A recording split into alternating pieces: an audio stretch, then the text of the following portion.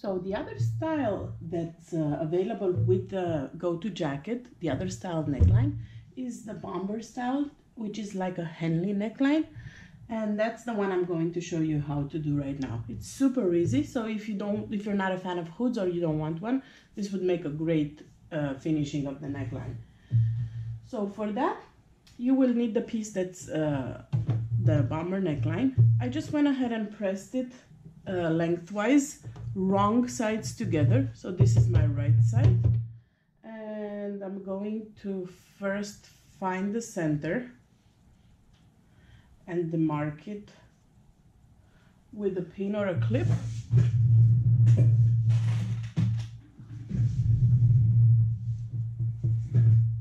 So I found my center back. And now I'm going to take my jacket and on the neckline you have to mark 3 eighths of an inch away from the front of the opening.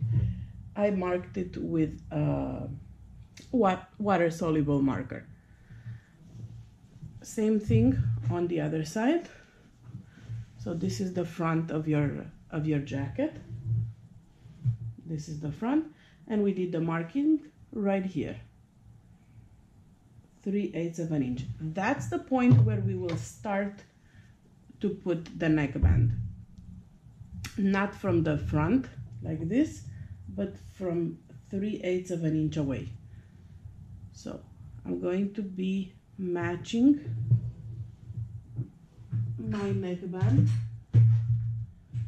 to the point that I just made, the mark that I just made. And then I'll be going around and pinning a couple of inches and that's it. I'm going to be adding this neckband exactly like I did for the Henley. If you follow the Henley sew along, you've seen me doing the same steps and this is how we're doing it here. So let's start by doing a straight stitch, like a basting stitch uh, around just the first couple of inches on both sides. This will help you in case you need to reposition the neckband in case you've made any errors it's much easier to unpick uh, a few basting stitches versus a serger stitch that goes all around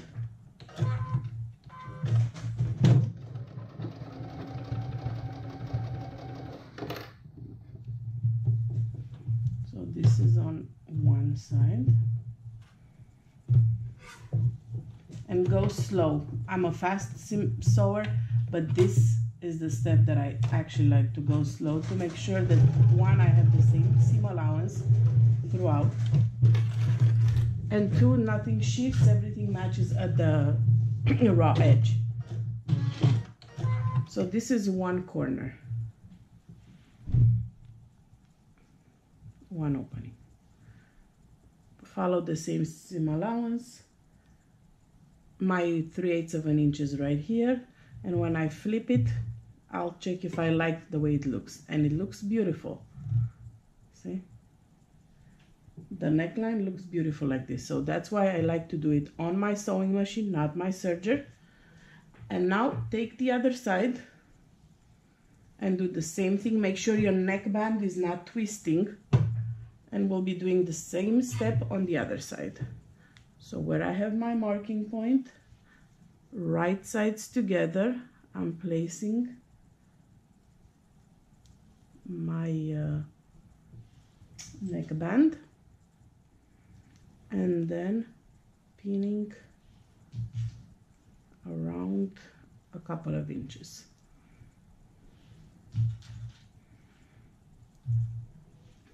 And now I'll be doing the same thing. I'll do a, a basting stitch around. Again go slow. Make sure you follow this the same seam allowance throughout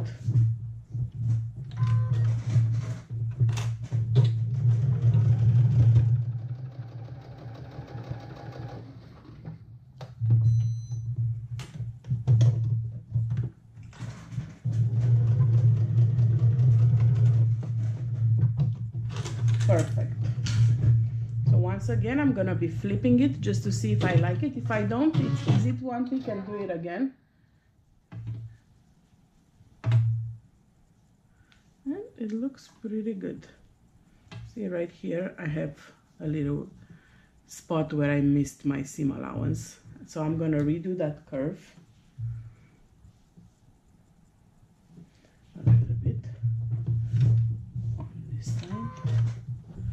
just because I'm a perfectionist.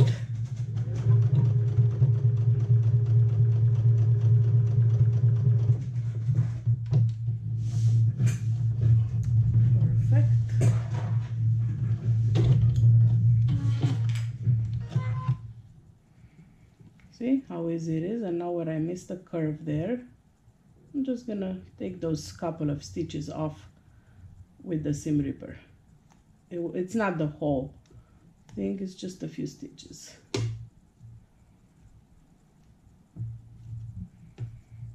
Super easy. See how important it is to, to, to take this extra time to do the basting stitches here. Perfect. Now I'm happy with how it looks. All right. So now take the the lining the uh, neck line mark your shoulder seams match them together and mark your center back point. So now you have your center back of the uh, band and the center back of your uh, neckline. Match those two.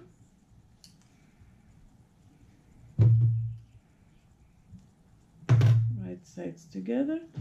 And now pin around the neckband. This time you will be stretching it. It's not like the hood so make sure it stretches equally throughout. You could also mark quarter points. I don't usually do that uh, for this step because I've already uh, sewn my ends and it's just easier for me to just stretch it and make sure that it stretches equally throughout. But you can definitely mark the quarter points like you would do on a regular neckband.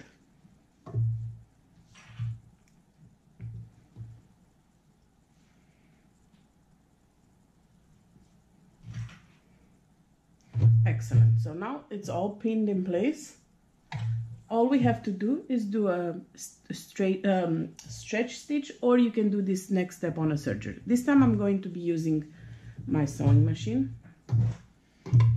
And I'll do a triple stretch stitch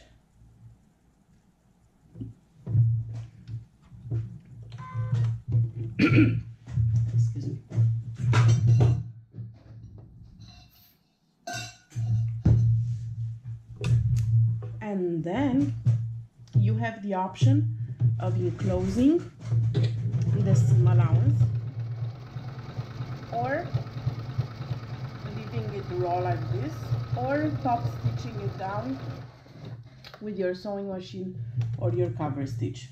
My preferred way because one I don't sew to sell. Two I make so many of these that and I really don't mind either leaving it the way it is or uh, my preferred method is actually top stitching down with my cover stitch. So go slow, make sure you follow the same seam allowance throughout.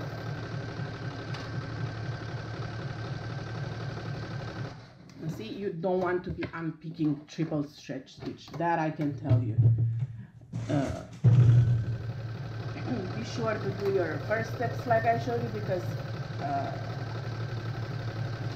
seam ripping triple stretch stitch is not fun. I would much much rather seam rip serger stitches than uh, triple stretch stitches. No doubt about that.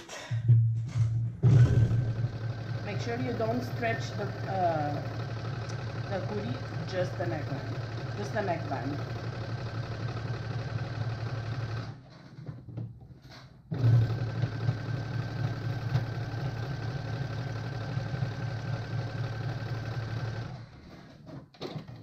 Excellent. So this is done. My neckband is attached. You can give it a press and you can right now top stitch down which is what I'm going to do on my cover stitch. That's my, my preferred method and it's easy. You can top stitch with your sewing machine with a triple stretch stitch or a zigzag stitch, like a wider zigzag stitch. Or you can do the bias tape finish that we show you in the tutorial. Either one of the method that you chose works great. Once you've done either one of the method, make sure you, you give your neckline a good steam press if you use the Minky or anything polyester based, make sure you use a pressing cloth because it will melt. And then snap a picture of your of today's progress and post it on the day five thread of the Go, ja Go to Jacket um, sew along album. And I'll see you guys back here tomorrow when we'll be sewing together the waistband, finishing the side seams and finishing the sleeves, whether with a hem or cuffs. Talk to you guys soon. Bye.